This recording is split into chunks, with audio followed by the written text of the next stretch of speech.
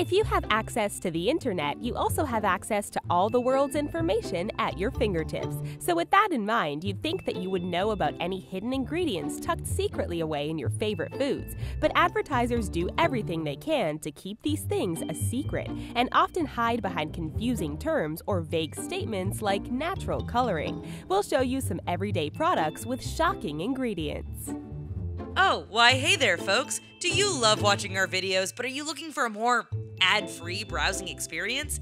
Take your video viewing to the next level and sign up for the Premium Network. You'll get the first peek at the newest content from not only the richest, but Screen Rant, The Talko, The Sportster, The Things, and many more.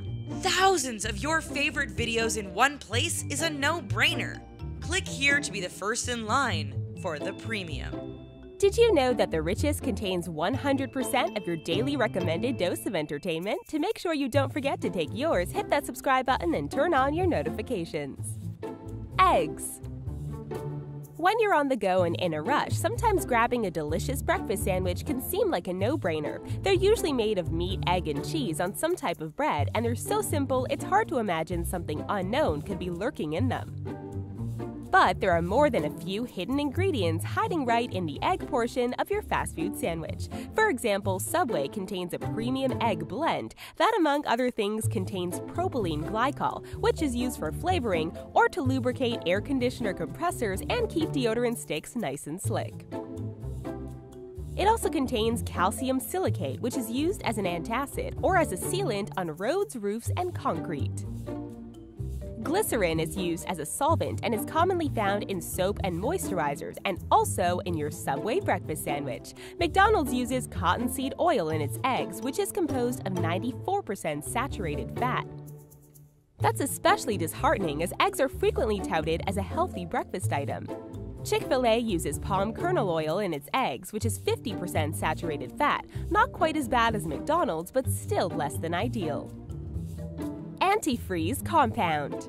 We all know that antifreeze is toxic. However, many items you eat and drink every day may contain a compound that is used in antifreeze.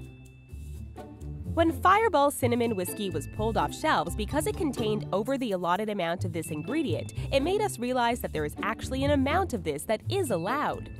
It's used as a solvent and is used not only in antifreeze but in the liquid used in e cigarettes. It's called propylene glycol and is considered safe in small quantities but fatal in large doses. The scary thing is, it's way more common than you think. It's even in that refreshing cup of iced tea you get from your local Dunkin' Donuts. It's used to make the flavoring taste sweeter, so stick to the unflavored type. It's also found in many types of ice cream, including the type served at Cold Stone Creamery. If you decide to make your dessert at home just to be safe, you'll want to avoid many types of boxed cake mix and prepackaged frostings. Try to avoid it by being healthy, and you'll want to read the label of your salad dressing extra carefully, as many dressings utilize this ingredient. Flies. For many of us, pasta is the ultimate comfort food. Unless you're making it yourself, it's likely that there are some rather unpleasant ingredients lurking inside of your favorite pasta sauce. While you might agonize over whether to go for a tomato based sauce or a creamy Alfredo, you may want to think about how many fly eggs are in there. That's right, the FDA allows sauces to contain 30 fly eggs per 100 grams of sauce. If that isn't bad enough, it can also contain one maggot per 100 grams. We aren't sure what the exact conversion rate is between fly eggs and maggots on the disgustingness scale, but the thought of eating either is horrifying. Why have you never heard of someone finding a maggot in their pasta while out at a nice restaurant? Because it's unlikely you'd ever notice such a trace amount. Just think of it as a nice source of protein conveniently tucked away in the sauce just for you. And if you're not picking your tomatoes to make your own sauce, you should know that it's perfectly acceptable for there to be fly eggs and maggots in your canned tomatoes as well. Preservatives. Okay, so we know that the vast majority of the food we eat today is loaded with preservatives. This isn't necessarily a bad thing, as preservatives allow us to access food that grows far away from where we are, without risking eating something that's spoiled. However, some fast food places use so many preservatives that it starts to seem a little excessive. One company that is notorious for this is McDonald's. This fast food giant's food holds up notoriously well over long periods of time, and while they're quick to claim that their burgers are made of 100% beef and are preservative free, they don't mention anything about their french fries, burger buns, or cheese. And not all preservatives are scary chemicals. For instance, McDonald's infamous french fries are simply loaded with fat. In a single order of fries, about 50% of the calories come from fat. Because there's so much fat, there isn't as much moisture, meaning there is less room for mold to grow. This, coupled with all the salt on them, keeps their fries looking fine for years after most other fries would be a moldy mess.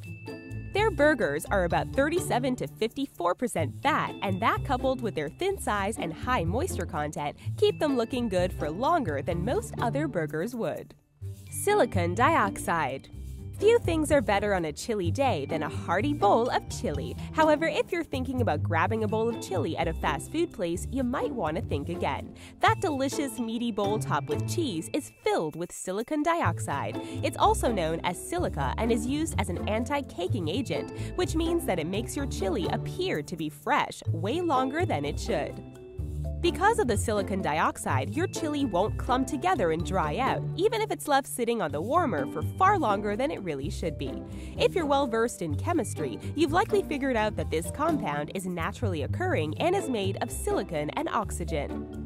In fact, it's so natural that it's commonly found in rocks and sand. Delicious, delicious sand. So not only could you potentially be eating chili that's way older than you think, but it's chock full of rock dust. And it's not just found in chili either. It's also used in beer, wine, and various juices. This hidden ingredient keeps your favorite beverage flowing smoothly.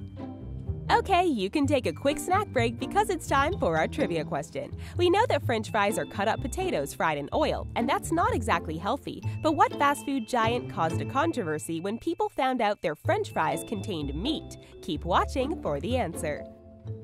L-cysteine. If you've never heard of L-cysteine, you're not alone. If you're searching for it on your food label, it might be listed as E920 or dough conditioner. It's a food additive that is used in dough, meaning it's likely to be found in your next sandwich or slice of pizza. It keeps the dough strong and moist, allowing it to be stretched out farther without tearing. When it's used to make bread, it helps to keep the bread looking and tasting fresh longer than it normally would. There are two methods of making it, and we can't decide which way is worse the one involving duck feathers or the one involving human hair. Okay, the hair one is definitely worse, and horrifyingly enough, it's more common. Both the hair and feathers generally come from China, where they are processed and the amino acid L-cysteine is extracted via a chemical process. So we feed ducks bread, and then the feathers from the duck are ground up to make our bread, the circle of life. Oh, and it's lurking in other baked goods as well, including many of your favorite fast food pies and cinnamon rolls. Tartrazine. While many of the ingredients mentioned in this video may make you feel a little bit queasy, for the most part they are generally thought to be harmless. However, we're going to talk about a chemical known as tartrazine, also known as yellow number 5.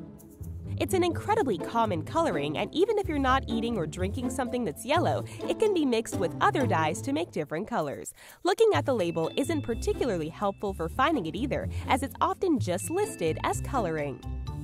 It's found in just about everything from ice cream to corn chips, and it's in some of your favorite beverages such as Mountain Dew and Kool Aid.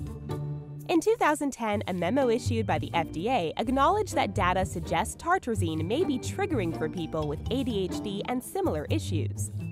In other countries, this ingredient must be clearly labeled, but the rules in the US are a little bit more lax. It's long been theorized that synthetic food dyes could contribute to hyperactivity, but more research is needed before it can be proven beyond a shadow of a doubt. We're sure that many of you remember a rumor that circulated at one point that this ingredient could lower your sperm count. While there is zero evidence that this is true, two small studies on mice have shown that it does have that effect on mice. More testing is needed to determine if these findings hold up to greater scrutiny or applied to humans. Caramel coloring. Caramel coloring is one of the most popular food colorings in the entire world and is found in everything from soda to sweets to breads. It's even found in many types of seasoning and sauces, including barbecue sauce. You might assume that since it has the word caramel in it, that it's created by heating up sugar the same way that caramel is created. Well, not exactly. The process is called caramelization and involves heating carbohydrates, often in the presence of acids or alkalis. Some popular acids that are commonly used are sulfurous, phosphoric, and acetic acids. Those sound kind of horrible, so what about the alkalis? These can include ammonium or sodium. Okay, those definitely don't sound any more pleasant. There are various anti-foaming agents used as well, just to make sure the texture is correct. In particular, the caramel coloring produced using ammonia results in some chemicals that are thought to be harmful, and unfortunately, it's not labeled any differently than the others. This ingredient is even listed on the Centers for Science and Public Interest list of additives to avoid. Cellulose. If you're like us, you probably believe that everything is better with a little sprinkle of cheese on top. Sure, taking the time to grate cheese yourself can be time consuming, and we all know that washing a cheese grater is a nightmare, but it's the only way to be sure that your cheese doesn't come with an extra, unappealing ingredient.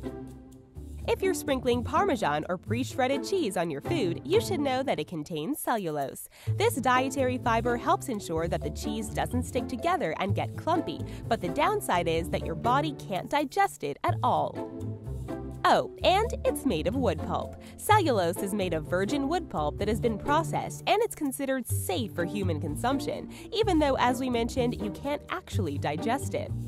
In addition to hiding in your cheese, it's also found in meat, ice cream, and a variety of other foods. How much cellulose is in your cheese? According to the FDA, 2 to 4% is an acceptable amount, but independent tests have shown that certain manufacturers understate the amount of cellulose, and it can actually be as high as 8.8%.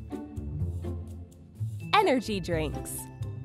A while ago, there was a frankly absurd rumor that the popular energy drink Red Bull contained a rather horrifying ingredient that would have come from a rather horrified bovine. We hate to break it to you, but not only does Red Bull not literally give you wings, it contains no animal products.